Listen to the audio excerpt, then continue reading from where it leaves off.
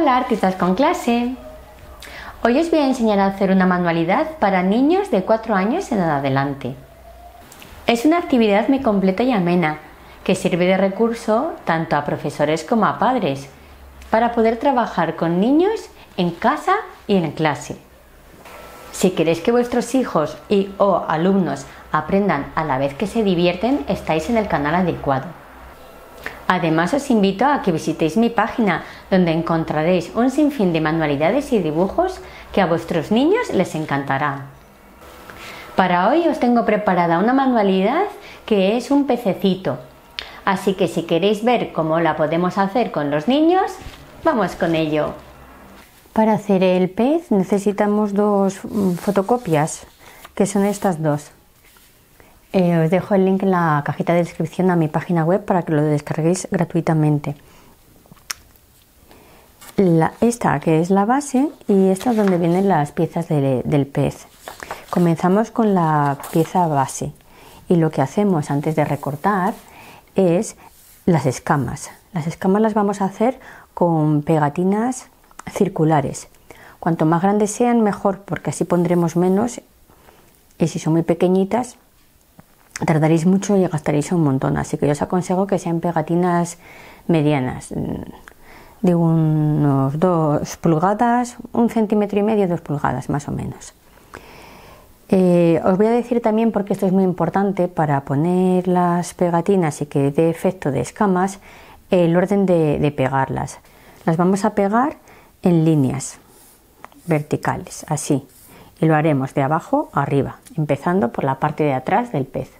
Aquí es donde iría la cara y aquí la colita. Así que empezamos de aquí para allá y de abajo arriba. Para hacer las escamas del pez os voy a dar varias opciones. Necesitamos círculos. La más recomendable son círculos adhesivos, como estos, del color que queráis. El tamaño aconsejo que sea de un centímetro y medio o dos. Cuanto más grandecitos mejor.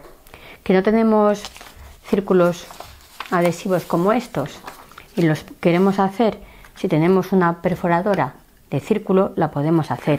Podemos utilizar cartulina o papel de los colores que queramos y hacer unos cuantos círculos. Aquí tendríamos que pegarlos, ya que no sería adhesivo, pero podemos utilizar pliegos de papel adhesivo,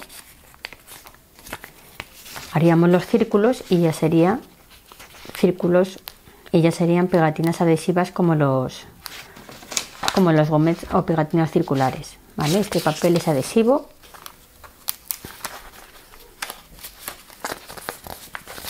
también podemos utilizar papel charol para hacer los círculos o papel de aluminio que queda muy bonito para hacer las escamas consejo tanto el papel charol como sobre todo el papel de aluminio y cartulina no, pero si utilizáis folios de colores, os aconsejo que, lo dobléis varias veces, porque sobre todo con el papel de aluminio, al ser tan finito, al ser tan finito el papel, no troquela bien y se os puede quedar atascada o estropearse la troqueladora.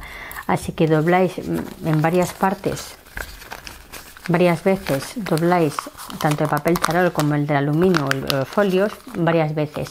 Un grosor adecuado, que a lo mejor sería muy gordito, pero veis, por ejemplo, con el papel charol con tres capas sería suficiente para hacer círculos, para troquelar los círculos. Con el papel de aluminio unas cuantas veces y así os salen un montón de una vez. Además, ¿veis? Ahí lo están pegaditos porque están troquelados juntos. Bueno, pues elijáis lo que elijáis. Os voy a enseñar ahora cómo tenemos que pegar los, los círculos para que parezcan las escamas.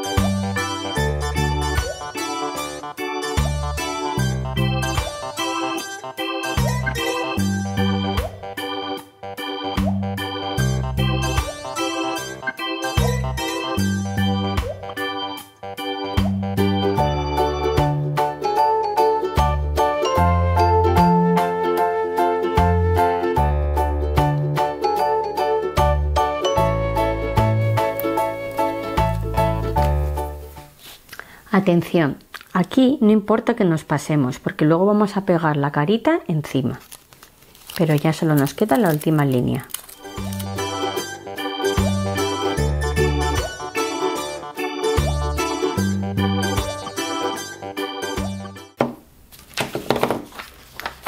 Ya tendríamos pegadas las escamas del pez. Nos queda así. Ahora lo que vamos a hacer es recortar la figura. Ya he recortado la base del pez y ahora lo que hacemos es coger eh, este otro fotocopiable y vamos a recortar el ojo, que son estas dos piezas, el, círculo blanco que no se colorea y el círculo negro y esta pieza eh, que es la carita. Lo primero que hacemos es colorear la carita, después recortamos las tres piezas. Lo voy a hacer y os lo enseño. Pues ya he recortado las tres piezas, esta es la carita este es el cuerpo.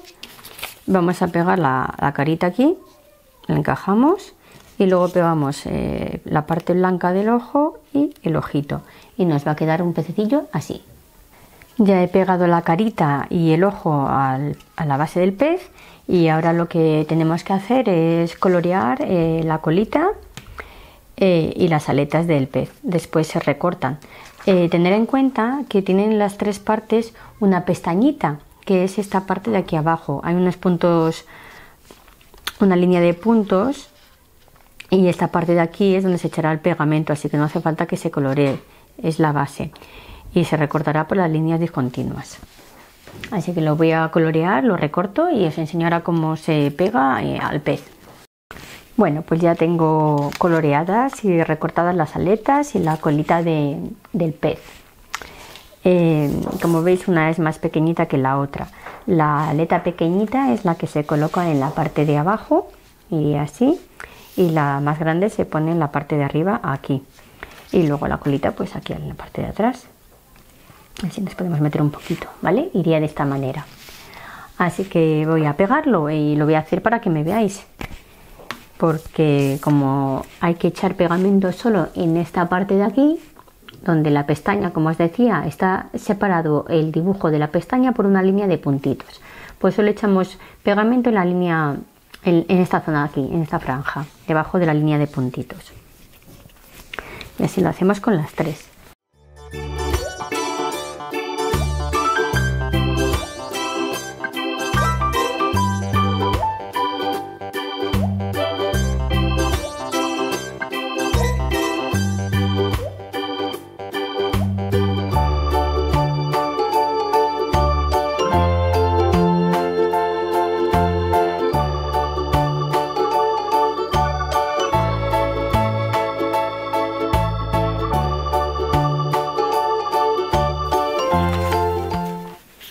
Pues ya tenemos el pez terminado.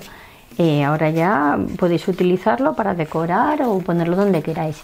Eh, yo voy a terminar esta actividad mm, pegándole en una cartulina azul para que sea el, como si estuviera en el mar.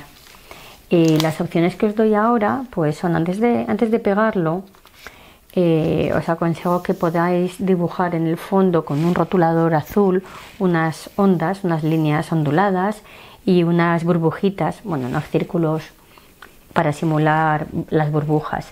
se pueden hacer las burbujas con el rotulador haciendo círculos o también podéis utilizar gomets o pegatinas circulares azules. ¿vale? Ya he pegado el pez y también he puesto unos gomets circulares azules para que veáis cómo quedan las burbujitas. Eh, al pegar el pez mm, se me ha ocurrido solo pegar la base, el cuerpo, y no he echado pegamento en las aletas ni en la colita.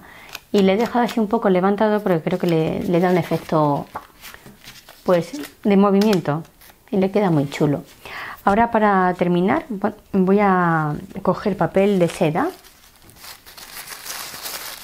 voy a recortar un trozo, un rectángulo. Aquí está doblado varias veces, como podéis ver, y lo que hago es arrugarlo, así, así, como un churro, así arrugadito. Esto viene muy bien para los niños pequeños. Y luego lo doblo así a la mitad y lo aplasto. ¿Qué por qué hago esto? Pues estos van a ser nuestros corales y nuestras algas. Los hacemos de varios colores y los vamos pegando aquí en la parte de abajo. Así, voy a hacer unos cuantos, lo pego y os lo enseño a ver cómo queda. Bueno, pues así ha quedado mi pececillo. Eh, al final he puesto un poquito más de algas mm, pegando mm, trozos de papel de seda rasgados. Queda mucho mejor si lo rasgan que si lo cortan. Como veis esta actividad es muy completita, que se puede trabajar con niños de infantil a partir de 4 años. Y en vez de recortar yo les aconsejo que, que piquen. Así también practican más. Y bueno, pues así ha quedado. Os animo y os reto a que lo hagáis con vuestros hijos o vuestros alumnos y, me lo enseñéis a ver qué tal les ha quedado y si se os ocurren otras ideas que se puedan eh, añadir y enriquecer eh, a esta manualidad, pues estaría encantada de que me lo dejarais en los comentarios. Si os ha gustado esta manualidad para niños de 4 años en adelante, os agradecería que me dierais un like escribiréis un comentario y compartiréis este vídeo con gente que le pueda ser de utilidad. Muchas gracias por seguirme y hasta el próximo vídeo. ¡Chao!